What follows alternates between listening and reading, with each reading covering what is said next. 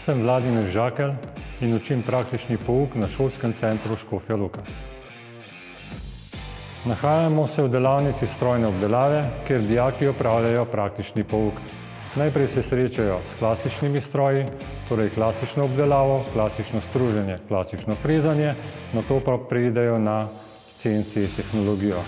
Na delovni mizi je razstavljeno nekaj izdelkov, ki jih dijaki naredijo med izobraževanjem. Trenutno na stružnici izdelujemo navojno grid, na kateri izdelujemo navoj M30x1,75, na frezalnem stroju pa izdelujemo glavo vijaka M10.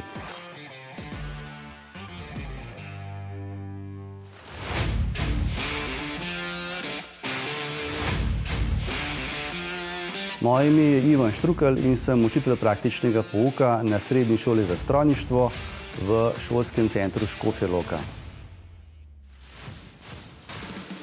V tej učilnici se z dijaki drugih letnikov smeri orodjar in tretjih letnikov smeri strojni tehnik pričnemo učiti veščin programiranja CNC strojev.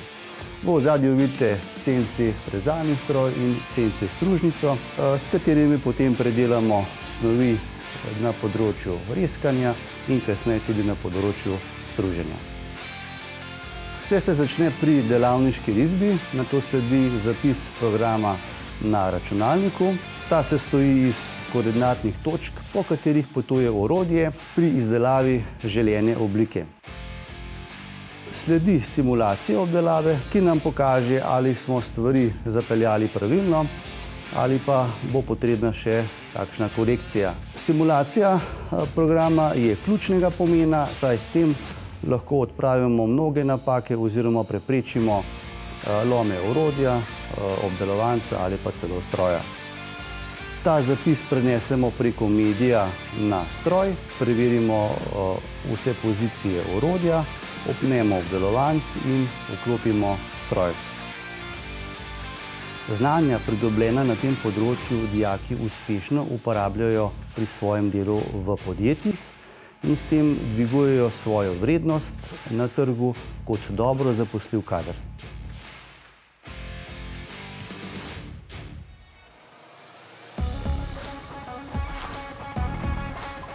Sem Matjaž Luznar, učitelj strokovno-teoretičnih predmetov na šolskem centru Škofja Loka. Poučujem predmete s področja strojništva, v največji meri pa 3D modeliranje in CNC programiranje.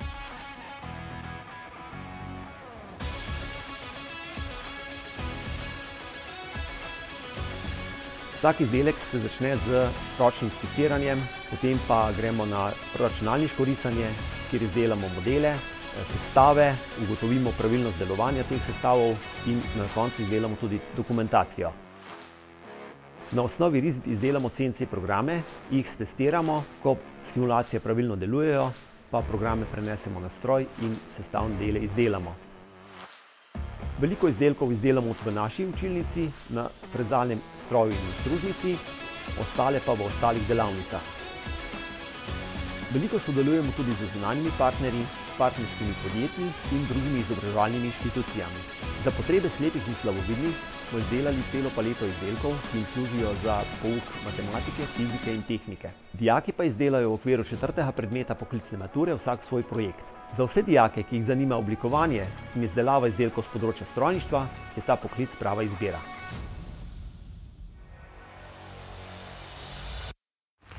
Živjo, jaz sem profesor Primož Šturm, na šolskem centru Škofja Loka učim praktični pouk s poudarkom na CNC programiranju in reskanjem oziroma struženjem na CNC strojih.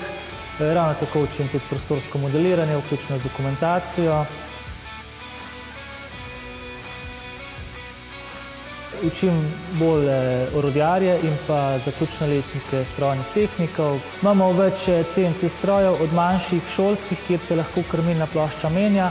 Imamo tudi petosni simultani stroj, industrijski s fiksnim Heinichenovim krmilnikom. Je zelo super za orodjarje, ki se lahko navadijo oziroma učijo programiranja direktno na stroju, in pa tudi za strojne tehnike, kjer se lahko naučijo simultanega oziroma petosnega reskanja s pomočjo CAM sistemov. Lepo zdrav še v mojem imenu. Eh, jaz sem Istok Basaj in poučujem na tej šoli različne predmete z področja strojništva, eh, še največ pa računalništvo, 3D eh, modeliranje in različne, bi rekel, računalniške tehnologije. V okviru našega predmetnega področja se boste srečali s 3D tehnologijami. Učimo se predvsem 3D modeliranja, zato uporabljamo mi program Creo. In v okviru projektnega dela se boste potem lahko vključili eh, v naš laboratorij, kjer potekajo različni projekti, tudi mednarodni, v okviru Erasmus Plus smo kar aktivni. Eh, delajo se pa različni projekti, tukaj vidite nekatere primere. Eh, kar se tiče 3D printerjev, imamo dva 3D printerja, to je Creality za večje izdelke, višine do 400 mm, Za manjše, do 200 mm, imamo pa Sidoh, ki je tudi v zaprti komori in zaradi tega tudi bolj kvalitetno printa. 3D skener zajema barvo, teksturo, kot tudi samo obliko. Prednost je seveda v tem, da potem niti ni treba modelirati. Mi si objekt vzamemo obstoječega eh, v naravi, naprimer, eh, ga poskeniramo, na kar ga pa v nekem modelirniku naprej obdelujemo.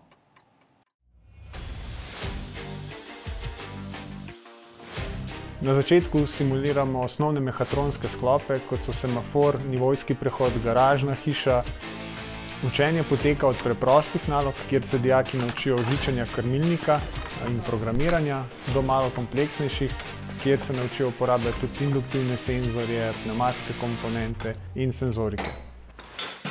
Ko dijaki osvojijo osnovna znanja pneumatskih komponent, začnemo s izvajanjem simulacij v programu Christoph-Louis Sim.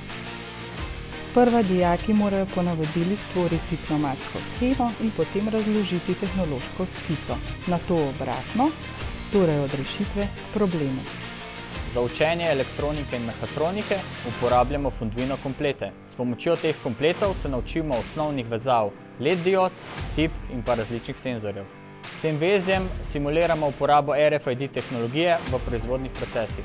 Če je čip pravi, posveti zelena LED dioda, če pa čip ni pravi, pa posveti rdeča LED dioda. Sem Franc Jelenc, po poklicu sem mojster strojnih inštalacij.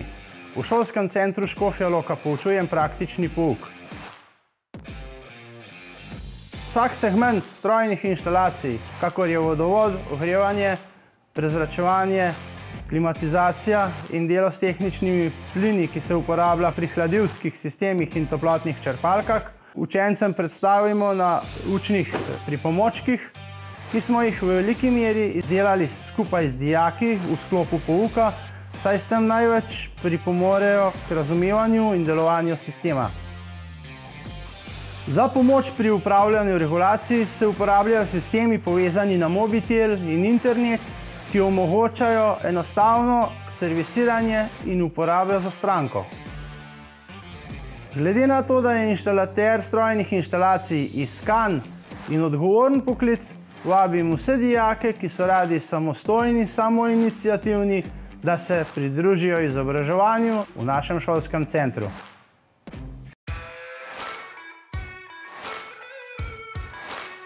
Sem Monika Kadalin, v šolskem centru Škofja Loka poučujem predmete na področju energetike. Dijaki na področju energetike najprej spoznajo osnovne termodinamične zakonitosti, kasneje dijaki to znanje nadgradijo s preračunom krožnih procesov v delovnih oziroma toplotnih strojih in tudi z preračunom toplotnih izgub v objektih.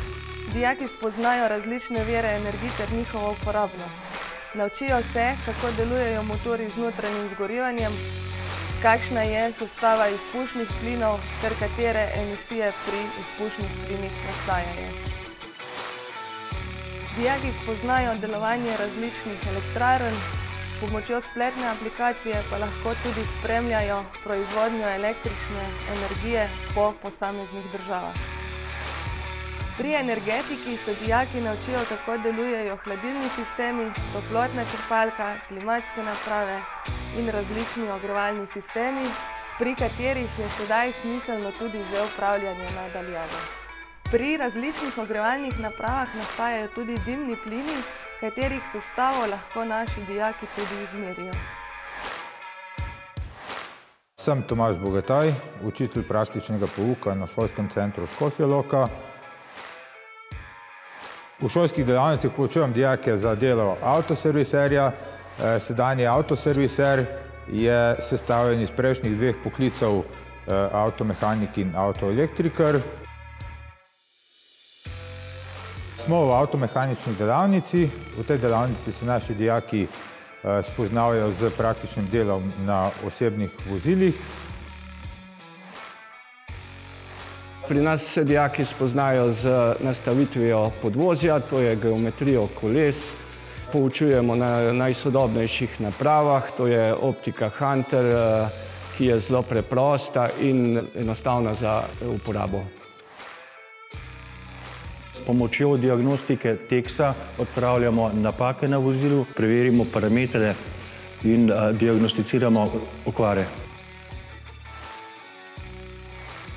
Z dijaki opravljamo različna popravila na motornih vozilih, menjavo olja, menjavo zavornih ploščic, menjavo filtrov, menjavo zobatih jermenov in podobno.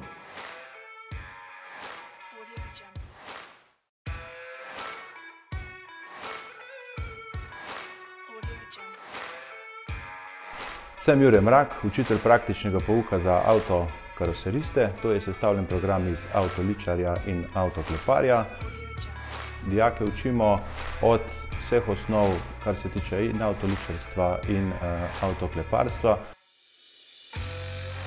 Program poteka tudi po vajeniškem sistemu. Pri nas v naših delavnicah delamo na vozilih strank, zunanjih strank, to pa zato, da se fantje in dekleta naučijo odgovornosti in tudi bolj resnega dela. Počnemo vse od osnov, se pravi avtokleparstva, menjava delov, varenje novih delov, poravnava pločevine. Pri ličarskem programu pa do priprave površine za lakiranje, lakiranje, odprava napak po lakiranju, poliranje in čiščenje vozila. Delo je razgibano, imaš veliko izzivov in tudi na trgu je veliko, veliko povpraševanje po tem kadru. Najprej se predstaviva. Smart električno baterijsko vozilo in Janko Brec, učitelj strokovno-teoretičnih predmetov.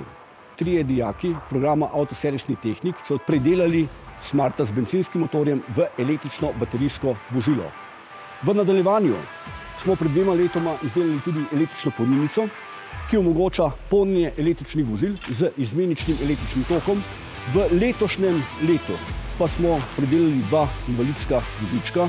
Predelava je bila predvsem v baterijskem delu, torej svinčevo baterijo smo zamenjali z litij-ionsko baterijo, kar omogoča bistveno večji domet. Moje ime je Miro Bogataj in poučujem predmete s področja avtoelektrike. Na začetku se spoznamo z osnovnimi zakonitostmi v tokokrogu. Če jih ne poznamo in uporabimo pretanko ali žico iz neustreznega materiala, se žica pregreva, potem se spoznavamo z osnovnimi elementi v elektroniki in na modelu vžigalnega sistema s pomočjo osciloskopa opazujemo časovne poteke vžinjih impulzov in podobno.